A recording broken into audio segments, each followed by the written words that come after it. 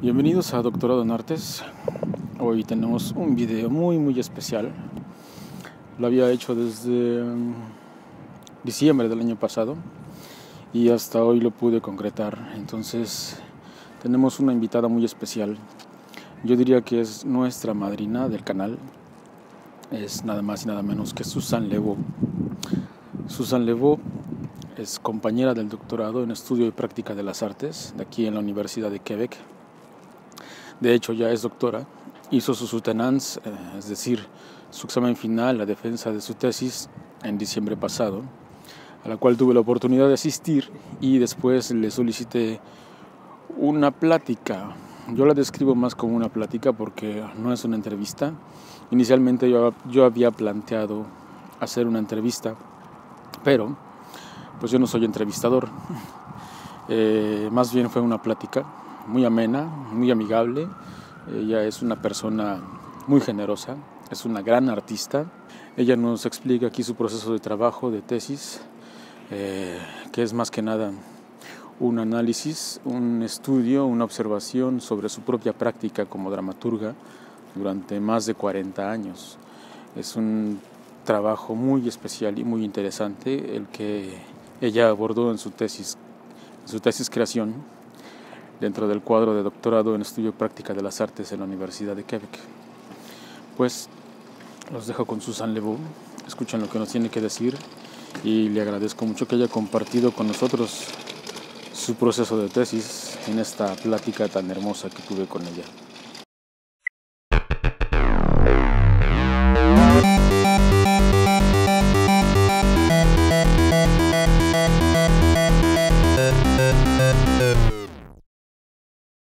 Antes de pasar a la plática con Susan Lebeau, hagamos una pequeña presentación de quién es ella y su trayectoria. Susan Lebeau nace en 1948 es una dramaturga, principalmente escribe para niños.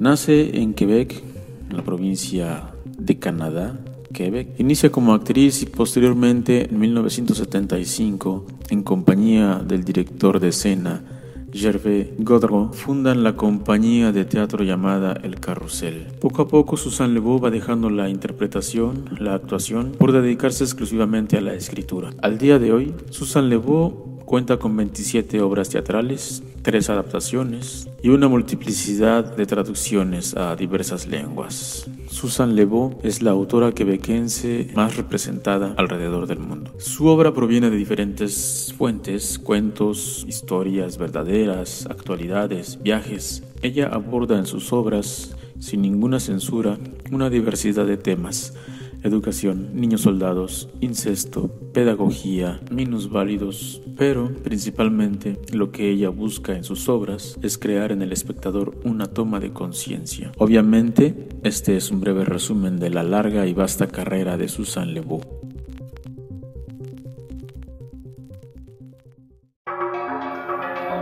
Es el momento de activar los subtítulos en tu navegador. Bonjour, nous sommes avec euh, Madame Susan Leveau. Euh, merci pour m'accueillir, Madame. Un plaisir.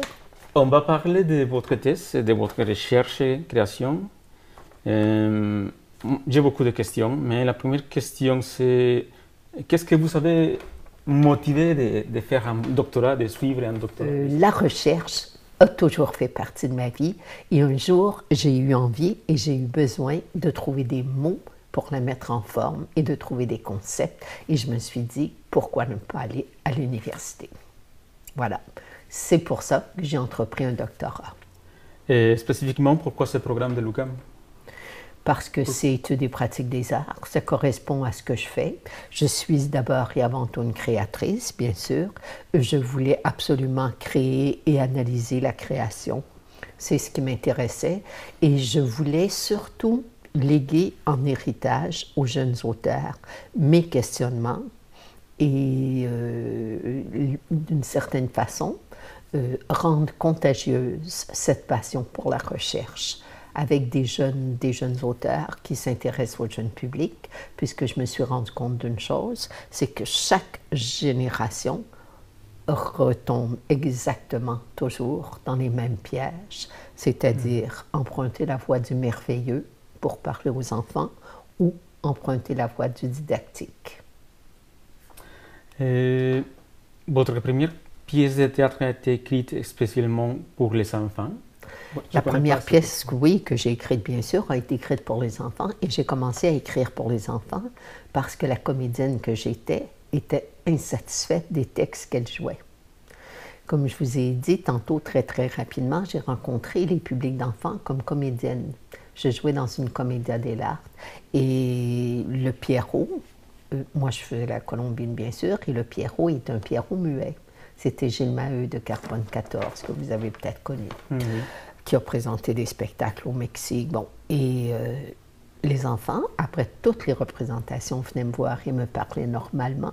Ils allaient voir le Pierrot et lui parlaient par geste. Et ça m'a tellement impressionné. Là, je vais commencer à me poser la question, est-ce que les enfants croient que les codes de la représentation sont toujours, euh, sont toujours euh, vrais après la représentation? Est-ce que les enfants ont le souci de de respecter, je veux dire, euh, de, de, ne même pas essayer de faire parler ce Pierrot au cas où il ne pourrait pas parler, bon, etc., etc. Et j'ai décidé, la comédienne a décidé d'aller se former pour travailler avec les enfants. Et sans savoir ce que ça voulait dire, se former pour travailler avec les enfants, je me suis dit, il faut absolument que je passe par le mouvement. C'est un langage métaphorique. Et je suis allée travailler, je suis allée étudier une année chez Étienne Decroux à Paris.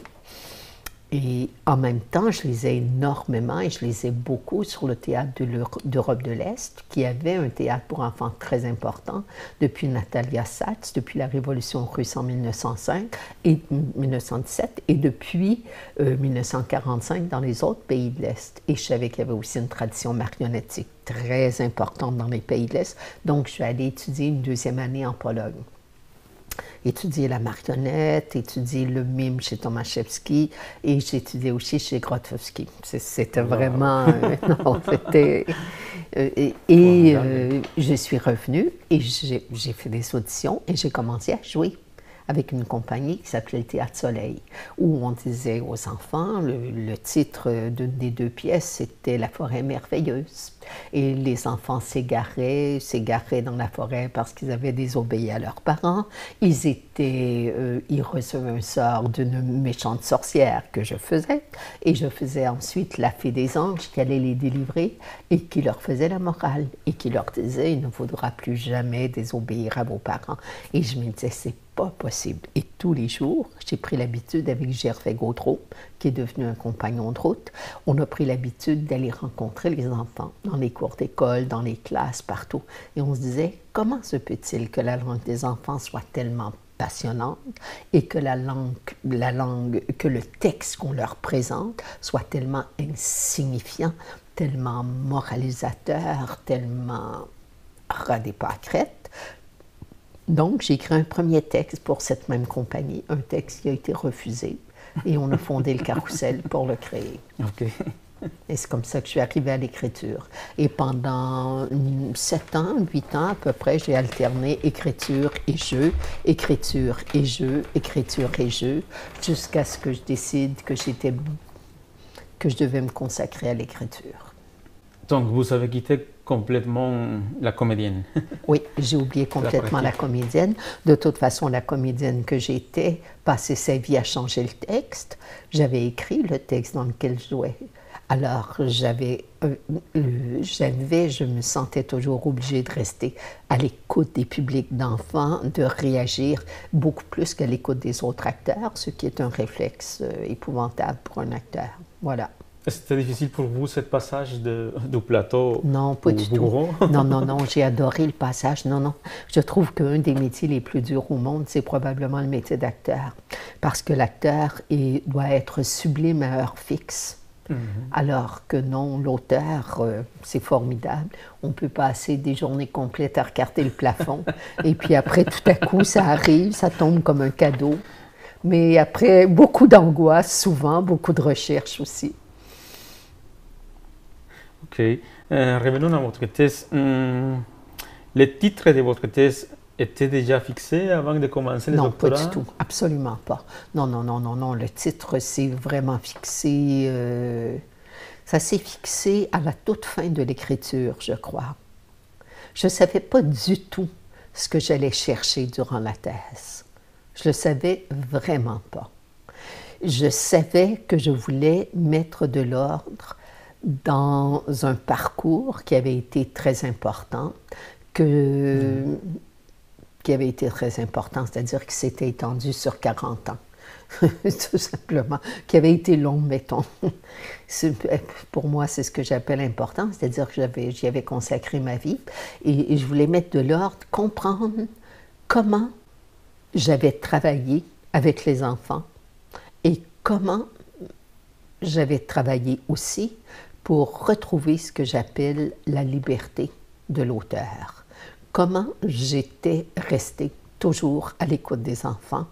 Et c'est beaucoup plus tard que le titre est arrivé. Le titre est arrivé d'ailleurs après que tous les concepts, un après l'autre, se soient imposés.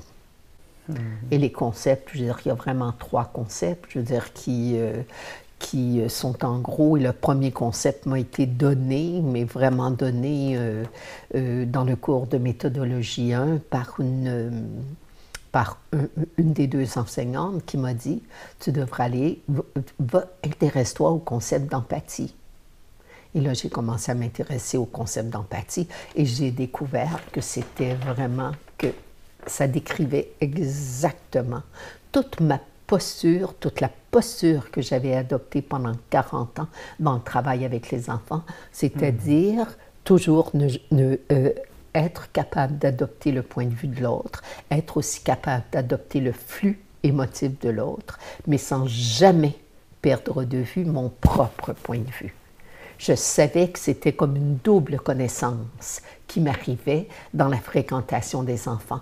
Et euh, bon, puis après, je veux dire, euh, le concept d'empathie est un concept d'une richesse incroyable que, que j'ai développé plus tard. Le deuxième concept, j'avais déjà j'avais déjà une intuition de ce que ça pouvait être. Et c'est drôle parce que l'intuition était présente bien avant, euh, bien avant que je commence la thèse, c'était la métaphore. À quel point la métaphore était très importante. Et ça, euh, quand j'ai travaillé à Ricoeur, la métaphore vive, quand j'ai travaillé même à partir d'Aristote, le concept de la métaphore, un concept dynamique qui se sert euh, du, euh, du choc entre deux termes pour faire jaillir un troisième terme qui est toujours plus riche que la somme des deux termes, ça a été, je veux dire, euh, c'était la métaphore. Et la métaphore fondatrice, par exemple, dans le cas, dans le cas de, euh, du texte de l'ogrelet, c'est bien sûr ce petit, le fils de l'ogre. C'est le fils de l'ogre. Quand j'ai trouvé l'histoire du fils de l'ogre, j'ai su que je pouvais écrire le texte. Et à un moment donné, bon, tous les mots sont bons. euh, euh, comment appelle Gilbert Durand appelle euh, l'entre-savoir, quand il y a une cristallisation, Umberto Eco, un autre terme. Mais on sait quand on crée qu'il y a un moment où on sait que c'est ça.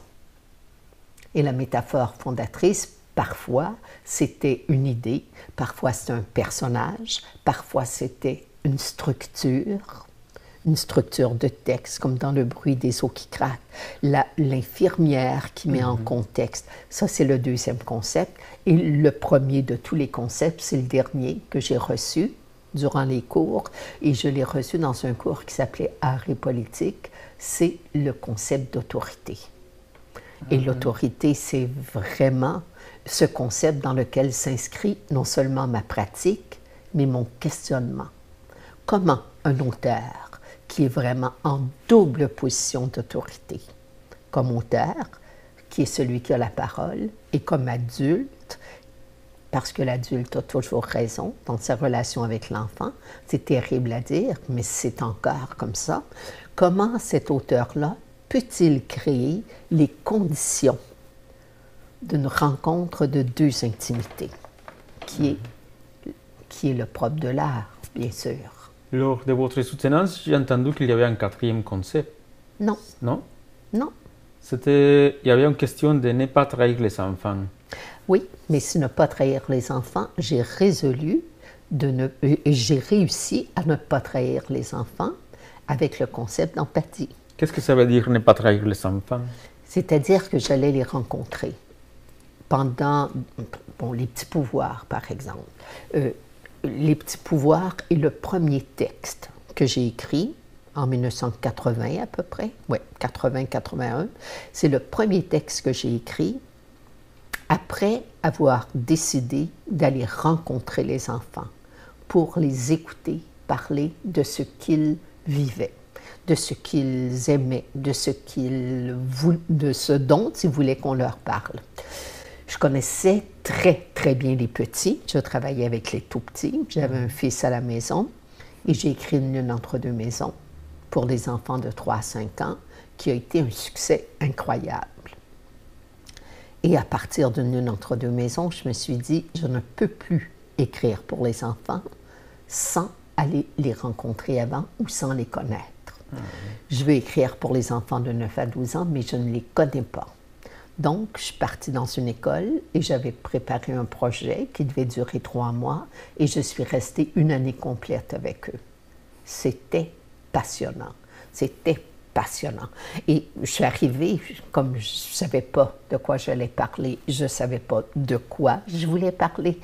Et, c'est drôle parce qu'il y a quelqu'un qui, qui m'a dit euh, très, très récemment, elle me dit, tu es arrivé dans notre classe et tu nous as dit, et a dit, je vais m'en rappeler toute ma vie, c'est le seul souvenir que j'ai de l'école élémentaire, tu as dit, je suis venu vous consulter. Et c'est vrai, j'allais consulter les enfants. Je disais, mais, et là je suis arrivée, j'avais une liste de 50 mots. Et je leur mhm. disais, vous prenez trois mots vous les prenez, ce sont des mots qui vous intéressent. Il y avait de tout, musique, la chambre, l'argent, les livres, les devoirs, euh, la, maison, la famille, l'école, ben, tous des mots, je veux dire, que les enfants, je veux dire, brassent sans arrêt quotidiennement. Musique, euh, obligation. Euh. et les enfants devaient prendre trois mots et les garder. Dans un deuxième tour, les enfants faisaient une phrase avec les trois mots.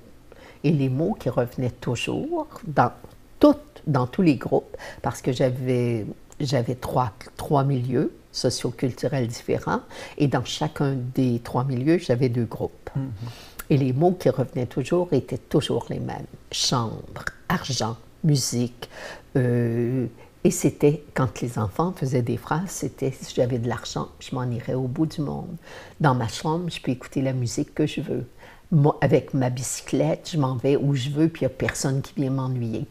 Et après, on s'est rendu compte que euh, c'était la relation à l'autorité qui les intéressait le plus. De la relation à l'autorité, on est passé, je veux dire, à qui a la véritable autorité qui, a l'autorité la plus contraignante, et bien sûr, c'est les parents, puisque les parents ont une autorité qui s'exprime dans la vie quotidienne, le choix des amis, les heures de repas, etc. Bon. Donc, j'ai travaillé avec eux pendant toute une année et je ne voulais pas trahir leurs propos. Mais je ne pouvais pas raconter les histoires de tous ces enfants-là. Mhm. J'avais travaillé avec des enfants pendant six heures semaine, mettons pendant 30 semaines, euh, calculé. Ça fait énormément d'heures. J'avais 150 cassettes, j'avais des cahiers de notes comme c'est pas possible. Je me disais, mais qu'est-ce que je fais avec tout ça? Je ne voulais pas trahir les enfants, mais je ne voulais pas non plus me trahir moi comme auteur. Et j'avais absolument besoin d'écrire un texte qui me ressemble à moi, qui ressemble à ma langue, qui ressemble à mes préoccupations, qui ressemble aussi. Et euh, j'ai commencé, ça a été insupportable l'écriture de ce texte-là. Ça m'a pris plus de six mois. Et c'est là que j'ai appris que pour réussir à ne pas trahir les enfants et à ne pas me trahir moi non plus, je devais absolument attendre que tout soit digéré. Digéré dans quelle manière? Digéré. Par vous? Oui, par moi. Digéré comme la nourriture. Par exemple, je veux dire, euh, la nourriture que je prends, mhm. je la digère et après elle se transforme en énergie qui vient de moi. Je devais digérer. Donc, je passais des journées complètes à écouter les cassettes que j'avais enregistrées, à relire les notes que j'avais prises. Et ça m'a pris plus d'un an pour écrire le texte. Et le texte, bon, euh, je, me suis rendu compte que les, euh, les enfants vivaient tous les mêmes problèmes d'autorité. Oui. Il y a une autre question à propos du récit de pratique qu'on doit faire au doctorat. Pour moi, je crois que ce n'est pas difficile de faire un récit de pratique, non? Vous racontez facilement votre pratique artistique. Oui, puis je me suis rendu compte en faisant le doctorat que j'ai passé ma vie à toujours alterner la recherche et la pratique, la recherche et la pratique, la recherche et la pratique.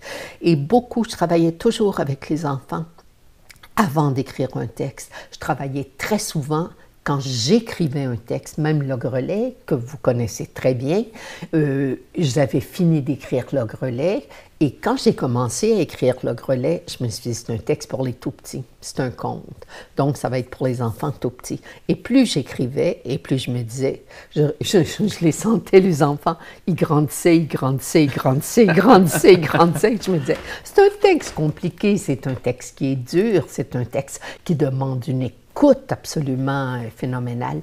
Et là, je me disais, bon Dieu, mais à quels enfants ça va s'adresser? Et là, j'ai choisi une des classes, mes classes, euh, mes, mes, enfants en dessous du pont Jacques-Cartier, qui sont les groupes euh, qui étaient des groupes multiethniques et qui étaient des groupes, j'adorais de toute façon les enseignants qui étaient dans cette école, étaient des enseignants fabuleux qui m'ouvraient les portes tout le temps. Donc, euh, je leur dis, j'aimerais travailler avec des enfants de première année. Euh, première année, chez nous, c'est 6 ans. Hmm. Et des enfants de 10 ans à peu près pour voir quelles sont à peu près les limites d'âge de ce texte.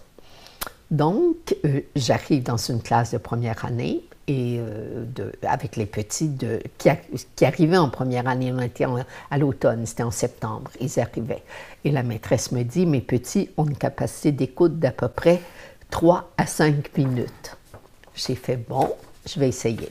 Et j'ai commencé, j'ai lu tout le texte, j'ai lu les, les 30 premières minutes jusqu'aux trois épreuves. Les enfants ont écouté tout le temps.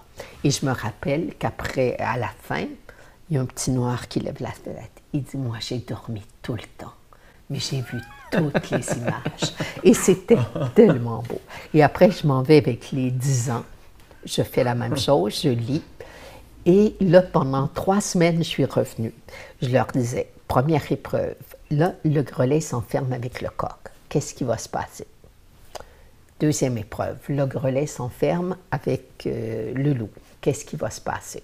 Troisième épreuve, troisième semaine, le grelet s'enferme avec la petite fille. Qu'est-ce qui va se passer? Les deux, les deux classes, première, quatrième année, hmm. même réaction, même réaction. Il faut qu'ils réussissent l'épreuve jusqu'à la troisième épreuve. Troisième épreuve, les petits me disent Oh, il faut qu'ils réussissent, mais comment il va faire? Puis là, ils me donnent toutes sortes d'idées. Euh, j'arrive avec les plus vieux, ils me disent il faut que le grelet meure. Il ne peut pas s'enfermer avec une petite fille. J'ai dit, qui va tuer le grelet? Il y en a qui m'ont dit le père de Pamela, il y en a qui m'ont dit les chasseurs, il y en a qui m'ont dit la maîtresse d'école, et il y a la moitié de la classe qui m'a dit sa mère.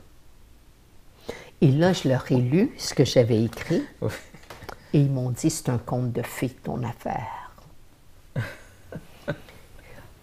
Là, je, me rappelle, je leur avais écrit une très longue lettre, mais euh, surtout, j'ai fait très attention avec la fin. Il fallait que dans la fin, on sente que l'ogrelet restait un ogre. Et c'est pour ça, j'ai été très claire dans la dernière réplique quand il dit L'orteil de Pamela le vrai, je l'ai croqué, mais je ne l'ai pas avalé. Je le garde dans la poche avec la petite goutte de sang séché qui ne veut pas partir. OK. Oui, mais c'est ça. donc, j'ai toujours travaillé avec les enfants, tout le temps, tout le temps, tout le temps. Donc, articuler pour moi récit et pratique, ça a toujours été euh, naturel, mettons. Vraiment. C'est, c'est inédit votre travail parce que les écrivains, ils travaillent seuls dans son bureau, mais vous travaillez d'une manière interactive avec. Euh, mais le, le public d'enfants, les publics d'enfants posent des questions. Pose de vraies questions. Comment, des questions auxquelles moi, toute seule, j'étais incapable de répondre. Par exemple, les enfants soldats, j'ai vu le documentaire sur les enfants soldats, j'ai été bouleversée. J'ai été tellement bouleversée pendant deux années. J'ai vécu avec les enfants soldats. Et là, j'ai dit, mais est-ce que je peux parler de ça à des enfants ici? Hmm. Des enfants qui connaissent pas cette réalité-là, qui ne savent pas que ça existe, qui n'ont jamais vécu ça, Dieu merci. Et là, ce que j'ai fait, comme je ne pouvais pas répondre à cette question toute seule, j'ai pris la fameuse cassette, j'ai écrit une lettre à des enseignants, j'ai écrit la lettre aux parents, je vais faire ça avec les enfants. Je vais leur montrer et je vais leur poser une question. Après, est-ce que nous, les adultes, on a le droit de vous hmm. parler de ces choses-là? Et dans les 13 groupes où j'ai montré la fameuse cassette qui m'avait tellement bouleversée, les enfants m'ont tout de suite dit, non seulement vous avez le droit, mais vous avez le devoir. Le devoir? Le devoir. Vous devez nous en parler. Et là, les enfants me posaient des questions, mais à quel âge on aurait le droit de savoir? C'est quoi l'âge pour connaître ce qui se passe dans le monde? L'âge pour savoir ce qui arrive aux enfants? Ils, sont, ils ont demandé ça, cette question? Ils m'ont demandé ça, absolument. Les enfants de quel âge? Euh, ils avaient entre 9 et 12 ans. OK, oui. Oui, mais je vais vous dire, moi je travaillais avec les enfants dans 13 classes et euh, j'ai d'ailleurs tous les questionnaires que les enfants avaient remplis. Les enfants, très souvent, bon, pas très souvent, je dirais que dans les 13 groupes, il y en avait toujours au moins 4 ou 5 qui avaient vu exactement ce documentaire-là à la télévision et qui l'avaient vu tout seul parce qu'il était passé à, Télé-Québec, mm. qui n'en avaient discuté avec aucun adulte après. Les enfants avaient une perception du documentaire qui était tellement brillante parce que durant, durant euh, le documentaire, je les observais. Et il y avait une image euh, qui était extrêmement forte, pour ne pas dire excessivement cruelle. C'était des corps d'enfants de 5, mettons 5 à 12 ans, qui gisaient par terre, qui perdaient leur sang et qui étaient mangés par des oiseaux de proie. C'était mm. intolérable. Et je voyais les enfants qui faisaient Oh! C'est une réaction instinctive, tout. Et dans le questionnaire, j'avais une question qui leur demandait quelle était l'image la plus dure du documentaire? Et ce n'était pas cette image-là qui revenait. L'image qui revenait le plus souvent, c'était le petit garçon de 14 ans du Myanmar qui disait Je n'ai pas d'avenir devant moi. Je suis trop vieux pour aller à l'école. Je ne me sens pas capable. Je n'ai jamais appris à lire. Je n'ai jamais appris à écrire. Et je ne sais pas ce que je vais faire de ma vie. Et les enfants me disaient, c'est l'image la plus dure du vidéo. Ils étaient capables de comprendre que les enfants couchés par terre étaient morts et que l'autre allait avoir à assumer toute sa vie. Hmm et à vivre avec ce ce que ce qu'on avait fait de lui. Oh. C'est dur, ça? c'est, oui, oui. Non, non, ouais, c'était assez impressionnant de travailler avec les enfants. Ben oui, c'est vraiment les confronter oui. vers la réalité. Absolument, manière... oui. C'est extrêmement impressionnant parce qu'ils ont une force morale qui est insoupçonnée ils ont une compréhension des réalités les plus complexes qui est instinctive. Hmm.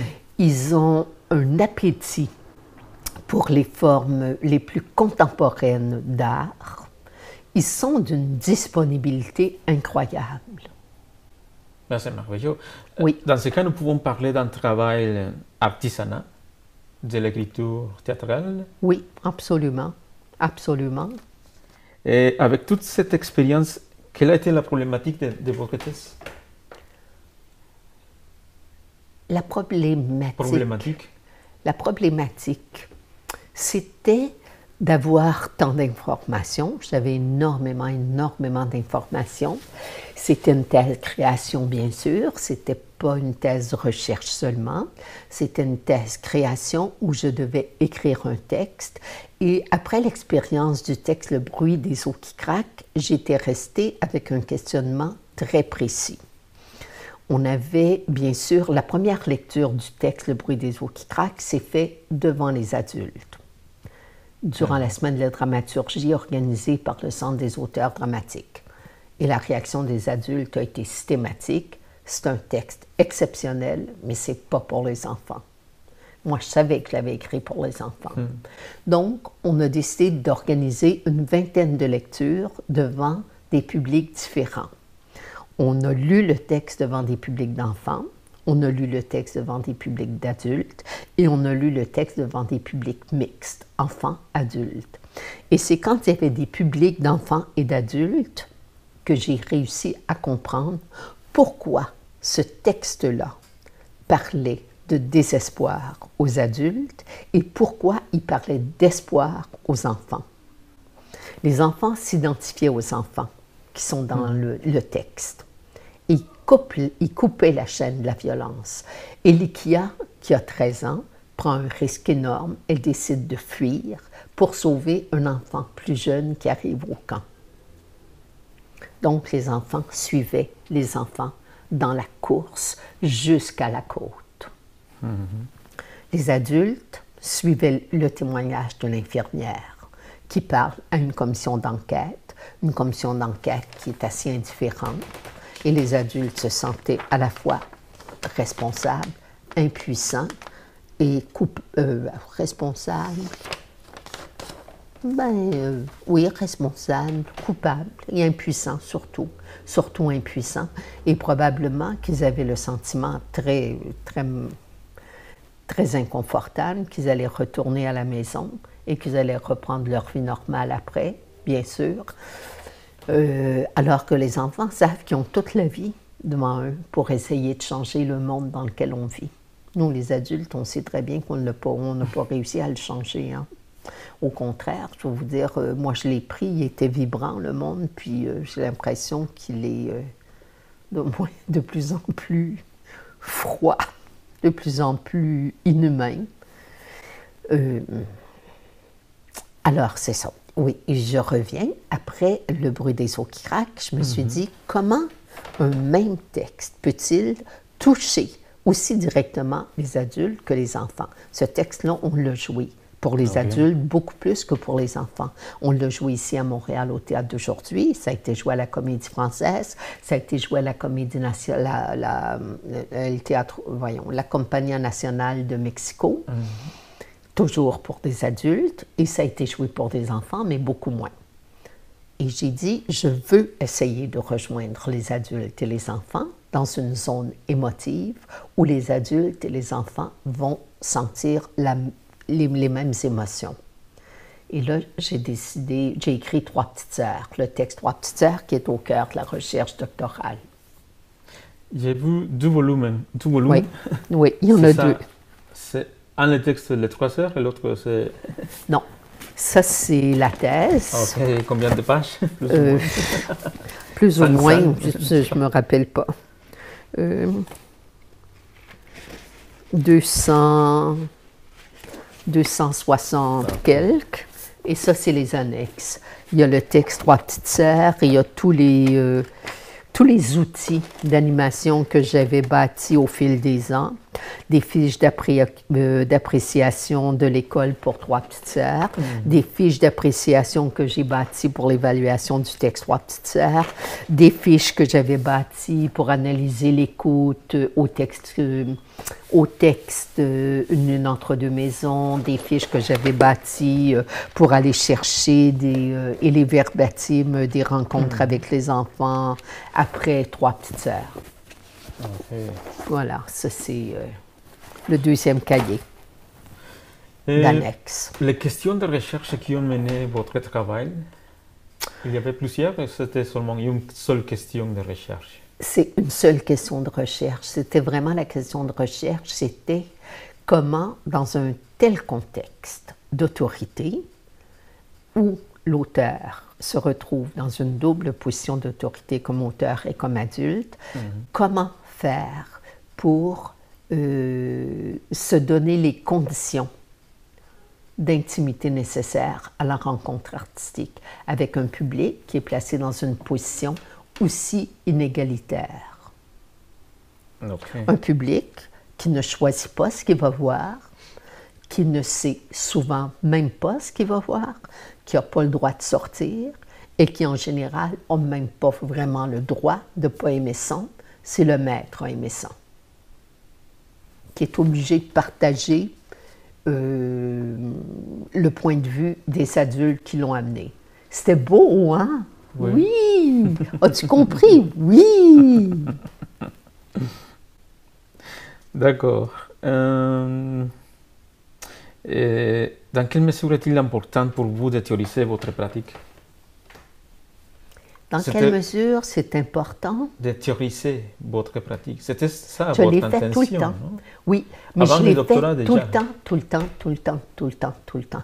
Et c'est drôle parce que au début, quand je, euh, je publiais mes textes, par exemple, euh, au Québec, très souvent la recherche était publiée en même temps que le texte. Et quand mes textes ont été publiés en France, il n'y en était jamais question. Au contraire, hmm. pour un auteur, théoriser sa pratique, c'était pratiquement, euh, je dirais, euh, c'était pratiquement, voyons, euh, ne pas être inspiré, ne pas recevoir l'inspiration d'une source divine transcendantale.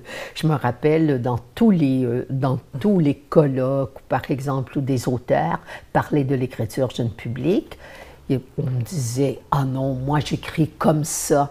Je disais, non, moi j'écris pas comme ça.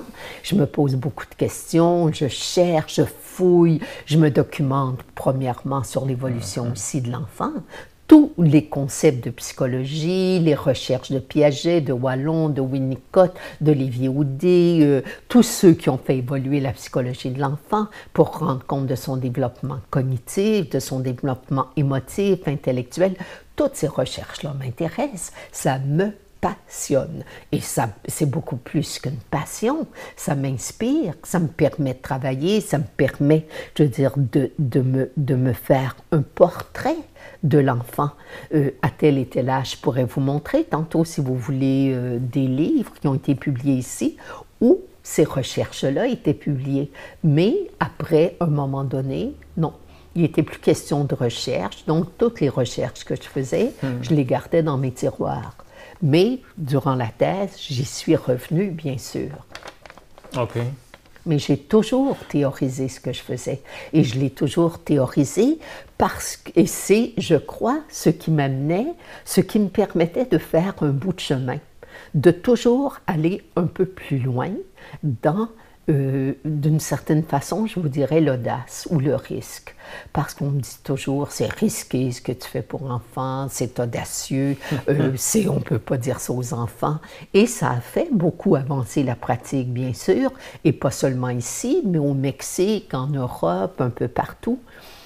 Et je pense que justement, c'est la connaissance des enfants qui me permettait d'aller sur des terrains que j'appelle des terrains minés des terrains qui pouvaient être dangereux, soit au niveau du propos, soit au niveau de la forme.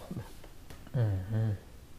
Et en parlant de ces propos et de la forme, vous avez déjà mené une méthodologie euh, que je vois, c'est déjà conscient, mais dans le doctorat, quand on parle de méthodologie de recherche pour accompagner notre pratique, euh, est-ce que vous savez déjà avant quelle méthodologie choisir ou c'était difficile J'ai toujours travaillé de manière terriblement empirique, de manière hmm. intuitive.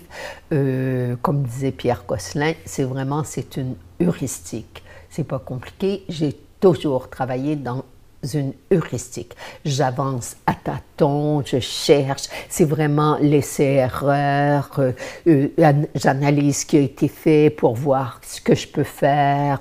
J'ai toujours travaillé comme ça et j'ai toujours adoré cette manière de travailler.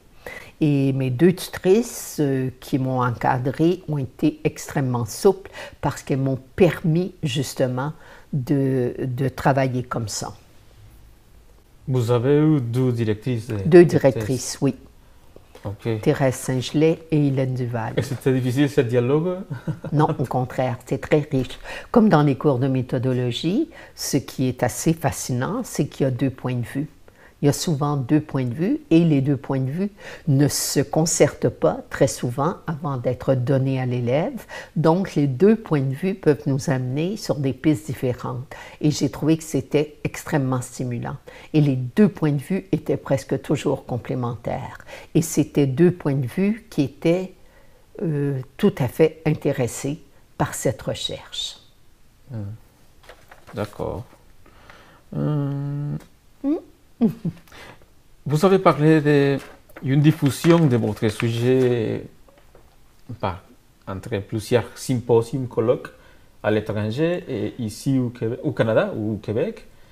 Est-ce que ça vous avait donné plus de choses, de points euh, d'information ou euh, d'outils pour enrichir Bien sûr, mais bien sûr, de côtoyer la pratique au Mexique, par exemple, euh, de côtoyer, de connaître la pratique en Argentine, de connaître la pratique dans l'Amérique du Sud, beaucoup au Brésil. J'ai été beaucoup au Brésil. Là, on commence à s'ouvrir sur l'Asie, beaucoup, beaucoup en Europe, de connaître toute la pratique en France, en Belgique, en Espagne. Bon Dieu, j'ai vu l'Espagne évoluer en 25 ans comme c'est pas possible.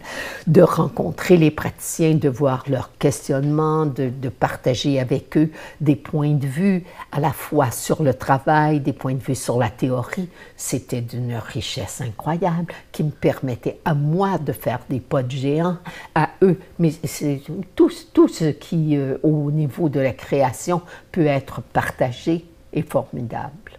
Non, puis je vois, je veux dire, que les pratiques sont ébranlées.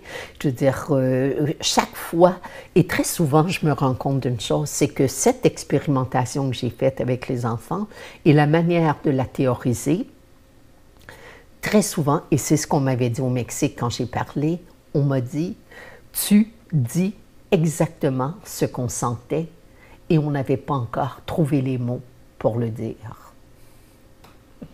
Et c'est, je me rends compte que c'est vrai. Tout le monde se rend compte à quel point le public d'enfants est un public qui est intelligent, qui est un public qui est complexe, qui est un public qui est, euh, qui est fort moralement, mais personne ne sait vraiment jusqu'où on peut aller tant qu'on n'a pas travaillé avec lui. Hum, Mettons hum. que j'ai aidé à repousser des frontières. Hum, et après le doctorat, comment est-ce que vous voyez la recherche et création? J'aimerais, je commence à peine à imaginer que je vais pouvoir retourner écrire. Je veux retourner à l'écriture. J'ai envie d'écrire. Euh, comment je vais y retourner je, Ça fait, ça a été très long. Euh, entre le moment où j'ai déposé la thèse et la soutenance. Et euh, ça m'a enlevé beaucoup de beaucoup de disponibilité pour écrire. Si la création. Oui, absolument. Je dois retourner, à, je veux revenir à la création, mais je devais fermer le tiroir. Et maintenant, le tiroir est fermé, donc euh, janvier, début janvier, je m'en vais en quelque part, je vais m'isoler et je vais essayer d'écrire. C'est comme ça, vous prenez votre temps de des créations en solitude parfois toujours. Maintenant, depuis euh, presque 20 ans, je suis presque toujours obligée de m'en aller pour écrire. Je laisse complètement toutes les obligations quotidiennes, je m'en vais n'importe où. En général, j'essaie d'aller où il fait beau et chaud. J'aime le soleil, j'aime la chaleur, je déteste l'hiver. Donc, euh, je vais partir. Au Mexique. Écrire. Magnifique. Bon, je crois que c'est tout à propos de votre thèse, au moins que vous voulez partager une autre chose. Mais... Non, pour moi ça va. Vous avez toute l'information que vous souhaitiez. Oui. Des plus. C'est formidable. Merci beaucoup, madame. Merci beaucoup.